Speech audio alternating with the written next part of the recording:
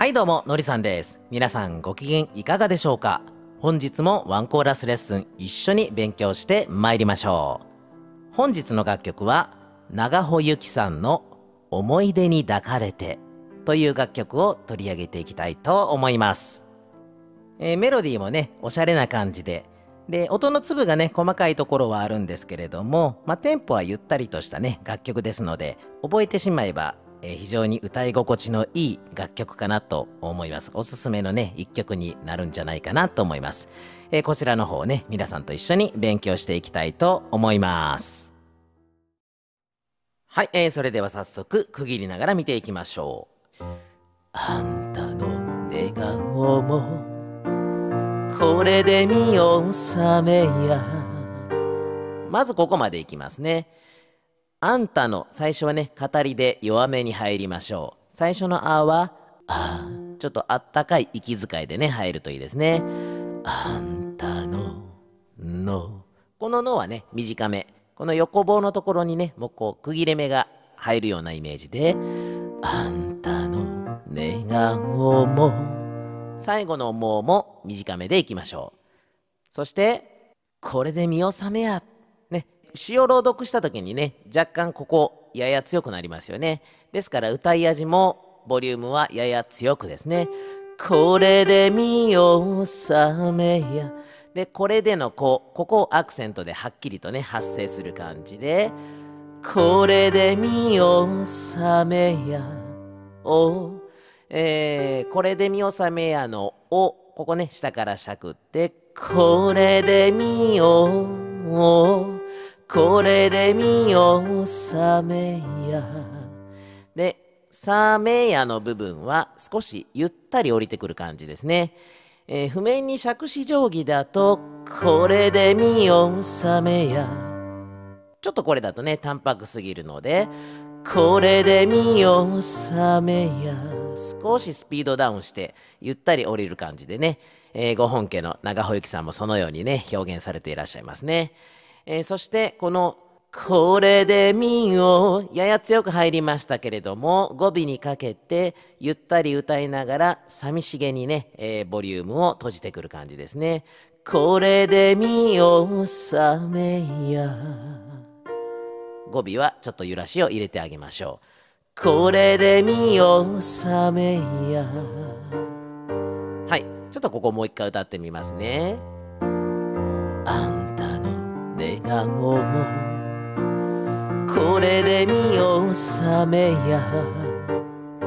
はいじゃあ一緒に言ってみましょう。3はい。あんたの寝顔もこれで見納めや。いけましたか？はいじゃあその次いきますね。始発電車の音が聞こえてるはい、ここまでいきますね。えー、始発電車の、まあ、ここは淡々とね、歌えばいいんですけれども、始発電、うん、この「ん」のところにね、えー、ご本家の長穂ゆきさんは拳、えー、フェイクね、コロロンと転がすのを入れていらっしゃいますね。まあ、揺らしに近いかな。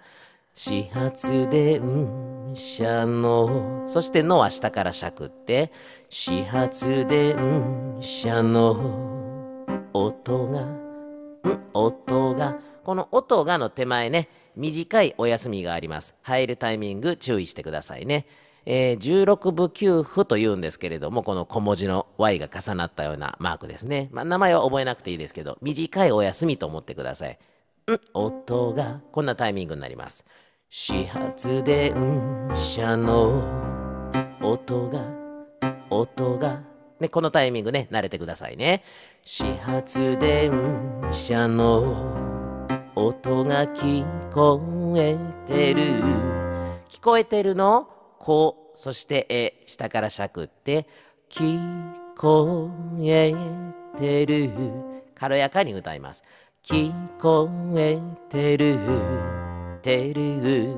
てるは同じ高さ、同じ音程ですね。てる。母音のうで降りてきます。てるう。最後のうは短めでいいですよ。聞こえてる。はい。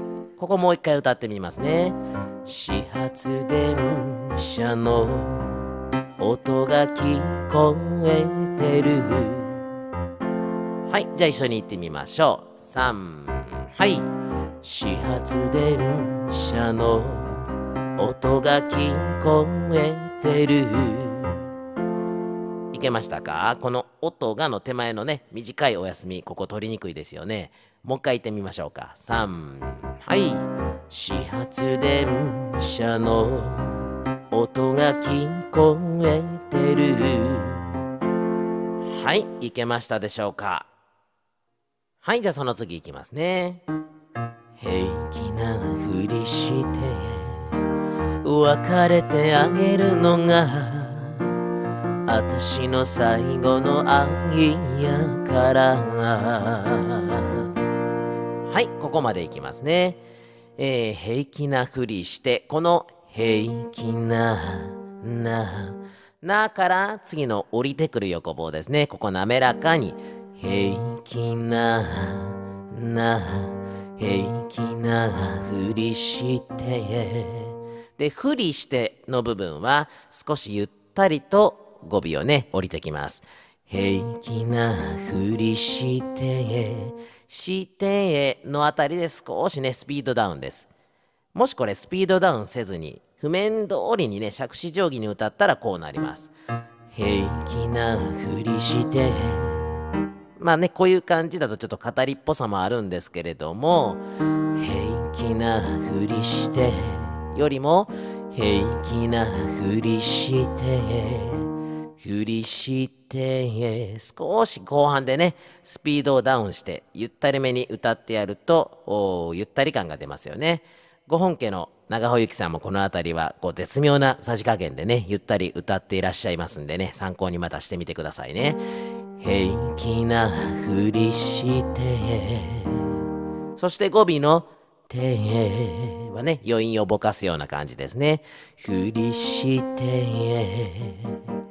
ねぼかしながらそして息継ぎをして別れてあげるのがやや強くなりますね。別れの和アクセントではっきりと発生して別れてうわ和の直前にねうを入れるようなイメージでうわって発音しましょう別れてあげるのがががから次の横棒降りてきた母音のあですね。余韻をぼかすような感じで。が別れてあげるのがこんな感じですね。平気なふりして別れてあげるのが。はい。そしてまた息継ぎをして私の最後の愛やから私のあ最後のさ愛やからのあそれぞれアクセントでねはっきり発生するんだと思ってください。私の最後の愛愛いいは少し下からしゃくってあいやから。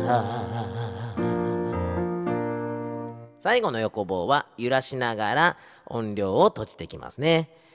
それと「あんやから」の「や」のところにね、えー、ご本家の長穂ゆきさん拳、えー、フェイクね、えー、入れていらっしゃいますあいややからやからねまあ、ここはね、あの、入れても入れなくても大丈夫です。うん。入れなくてもね、間違いではないですし、えー、もちろん、長穂幸さんの方ようにね、入れても構いません。ただ、演歌ではないので、うなってしまったらダメですよ。あいやからとね、演歌っぽくならない。あくまでおしゃれに転がす程度。あいやからで、入れなくてもいいです。あいやからでも大丈夫ですからね、えー、無理に入れることはないです。えー、拳がまあどちらかといったら得意あるいは入ってしまうという方はね、えー、入れても構わないですけれども演歌のようにならないようにだけは注意しましょうね。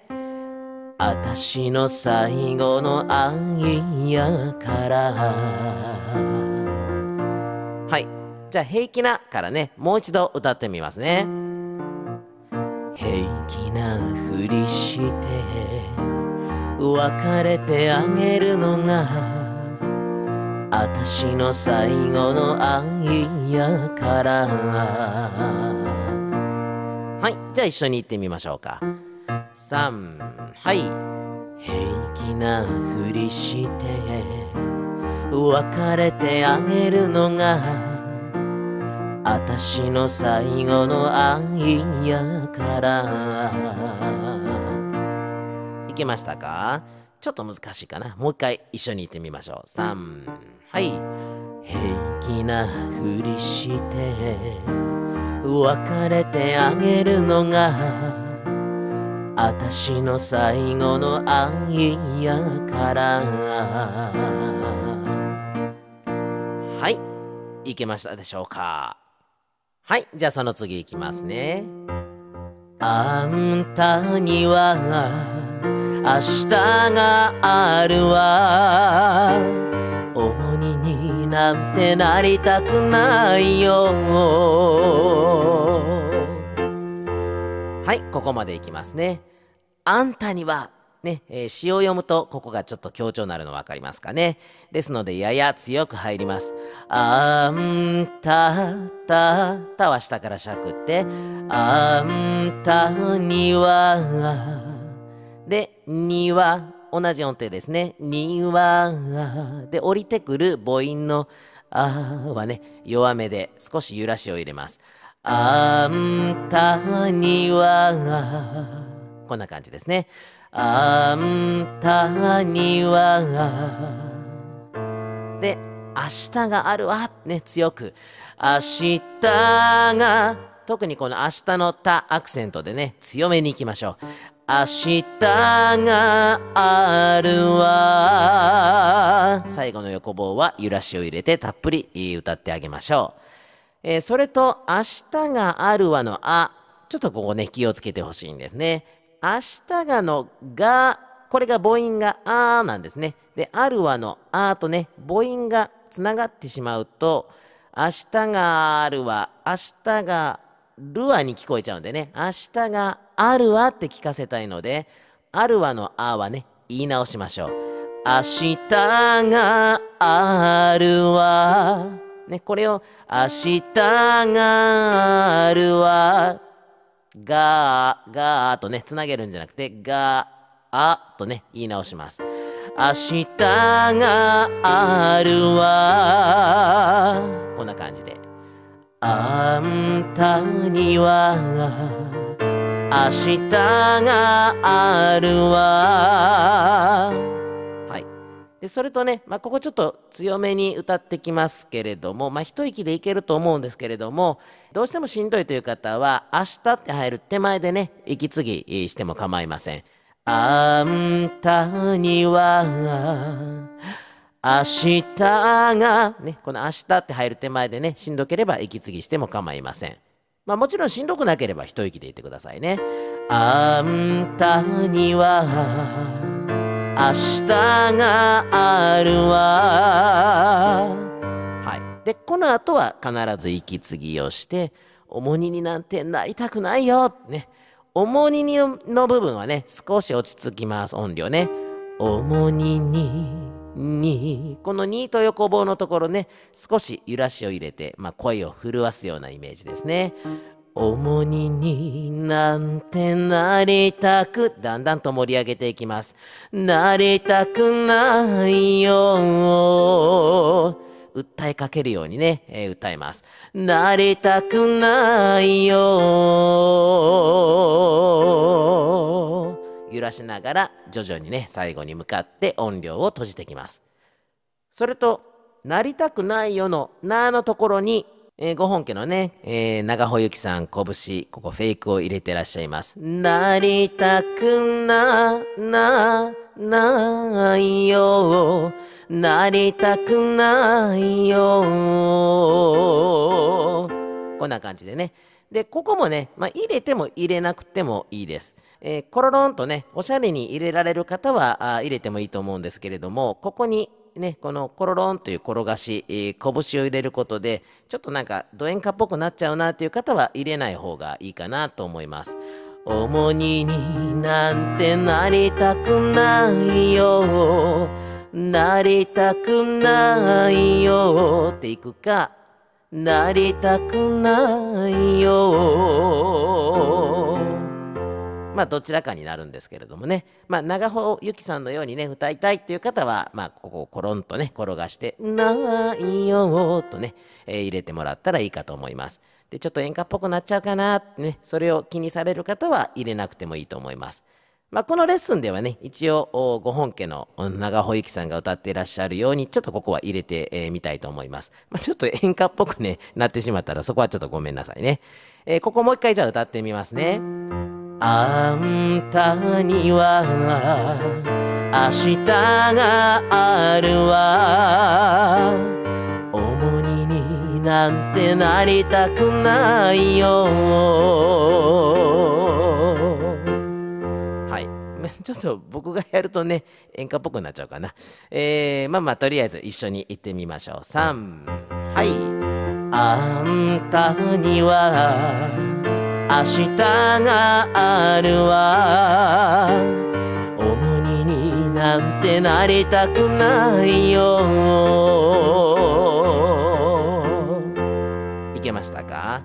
ちょっと大事なとこなんで、もう一回一緒に行きましょう。3、はい。あんたには明日があるわなんてなりたくないよ。いけましたか？はい、じゃあその次行きましょう。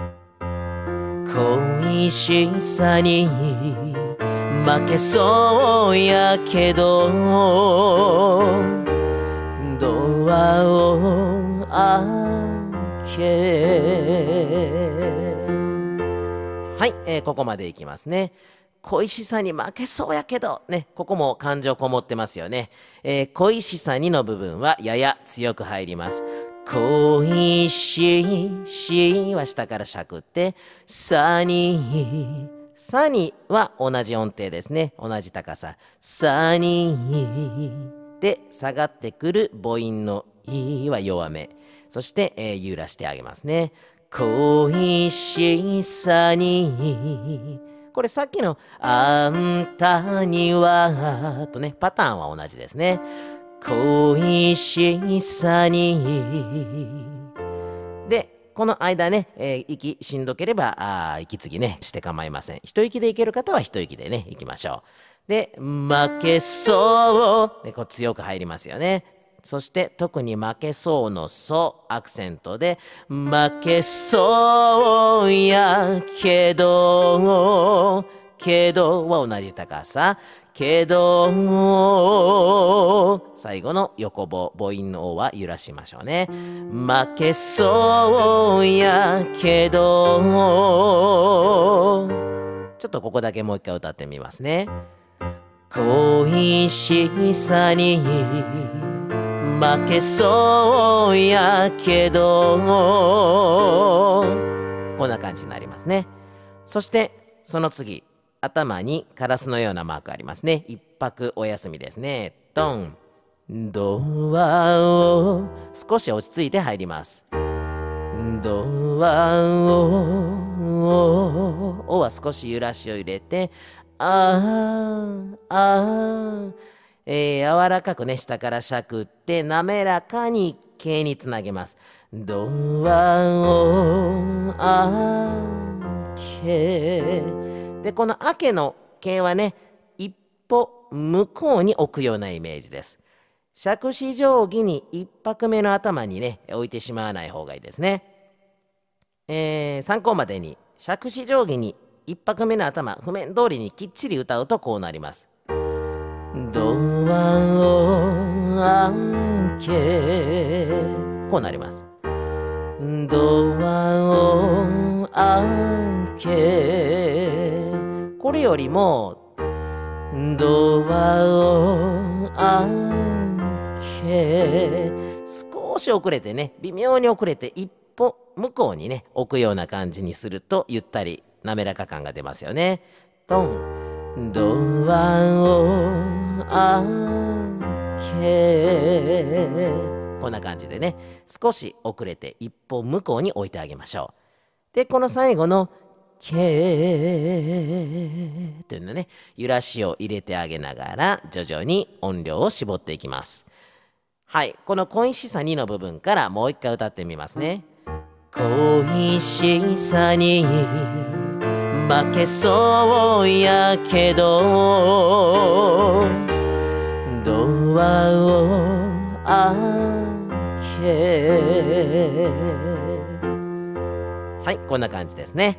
はいじゃあ一緒に行ってみましょう。3はい。恋しさに負けそうやけどドアを開け。いけましたか？ここも大事なんでね。もう一回一緒に行きましょうね。3はい。恋しさに負けそうやけど。ドアを開け。はい。いけましたか？はい。じゃあその次いきますね。思い出に抱かれて歩き出すよ。はい。えーと、まず初めにねちょっと説明しておかないといけないことあるんですけれども最後の「歩き出すんよ」っていうねこの「出すんよ」っていうのは大阪弁の言い回しなんですけれども、えーと出版社の譜面によってはこの部分が「歩き出すのよ」というふうにね、えー、標準語まあ、共通語って言うのかな、えー、標準語で書かれてある表記のものもあるようなんですけれども、えー、ご本家の長穂由紀さんは「歩き出すんよ」というね大阪弁の言い回しで歌われていらっしゃいますので一応このレッスンでは「歩き出すんよ」んでね歌っておきたいと思います。カラオケにね出てくる歌詞の字幕がどうなってるのかわからないんですけど、えーと、私が確認した限り第一交渉のダムという機種は出すんよんでね表記されておりました。ちょっと他のメーカーはまだちょっと確認していないんですけれどもおまあ、もしかしたら他の機種だと出すのよっていうふうに歌詞が出てくるのもあるかも分かりません、えー、ですのであの他のねこの YouTube チャンネルでこの「思い出に抱かれて」をねこう歌ってみたっていう動画をねちょっとこう拝見させていただくと「出すのよ」って歌っていらっしゃる方が何人かねやっぱ結構まあどちらかといったらその方が多いんですけれどもえーとご本家のね中穂由紀さんは「出すんよ」とね歌っていらっしゃいますので、えー、先ほど言いました通り、えー、私のレッスンでもここは「出すんよ」で歌っておきたいと思います。えー、まあ、とりあえずちょっと細かく見ていきましょう。最初の思い出に抱かれて、ここでね、タイトルと同じ文句が出てくるんですね。えー、ですので、丁寧にね、歌っていきましょう。穏やかな雰囲気で、思い出に抱かか、かは下からしゃくって柔らかく歌いましょう。抱かれて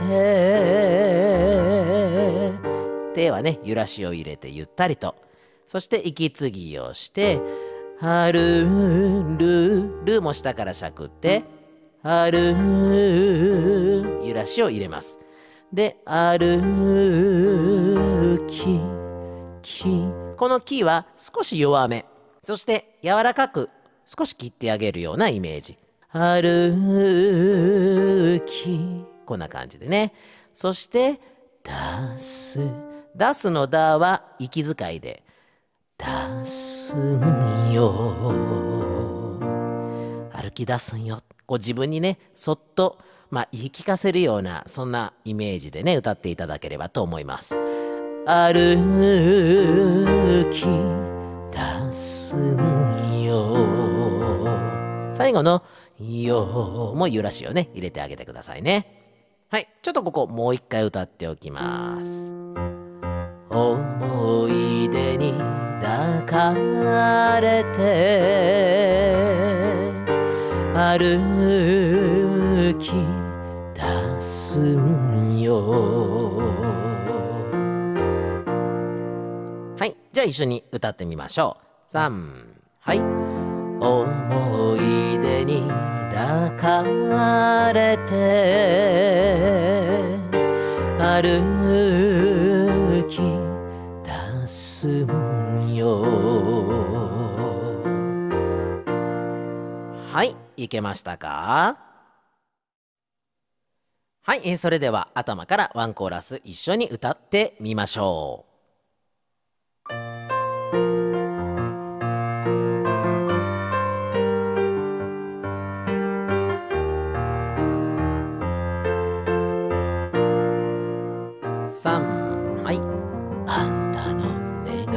もこれで見納めや始発電車の音が聞こえてる。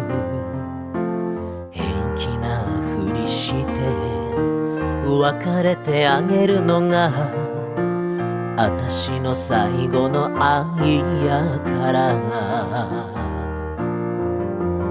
あんたには明日があるわ。重荷になんてなりたくないよ。恋しさに負けそうやけど。ドアを開け。かれて歩き出すよ。はい、えー、ワンコーラスね通して歌うとこんな感じになっております。さていかがでしたでしょうか？思い出に抱かれて。まあ本当メロディーがねおしゃれでうんなんか私は結構好きなメロディーの曲かなという感じですけれども、えー、歌い方をねざっくりまとめておきますと前半「あんたの寝顔も」っていうところから「私の最後の愛やから」っていうところまでがまあ大まかに言うと語りのパートになりますよね。えー、語りなんですけれどもところどころにこうやや強くね、え、アクセントを入れながら歌うところえー、あるいは語尾ね、ゆったりと閉じてくるところね、そうした濃淡はね、えー、つけながら全体は語りということですね。そして中盤、あんたには明日があるわっていうところから、恋しさに負けそうやけどっていうところ、まあ、この辺りかな、中盤ね。ここは主人公の葛藤する気持ちですよね。彼のことを思うと、自分から身を引いて別れなきゃと思うんだけど、まあ本当はね、別れたくないですよね。うん、寂しいですもんね。そんな葛藤する主人公の気持ちをね、うまくね、表現、感情をしっかりとね、込めて歌ってあげればと思います。そして後半、ドアを開け、思い出に抱かれて歩き出すのよっていうところが、まあね、気持ちを、まあ決心ついたわけじゃないんでしょうけどもね、気持ちを切り替えて、ね、えー、少し後ろ髪引かれる思いはあるけれどもっていうね寂しい感じで、えー、歌いじまうという感じでね前半の語りねそして中盤のこう葛藤ですよね気持ちの葛藤でこうしっかりとぶつけていくところそして後半ちょっとこう寂しさをね感じながら、えー、終わるというねこんな感じでね構成まとめていただければと思います。えー、拙いレッスンではございましたが、皆さんの歌のお勉強に少しでもお役に立てましたならば幸いです。それでは次回のレッスン動画でお会いしましょう。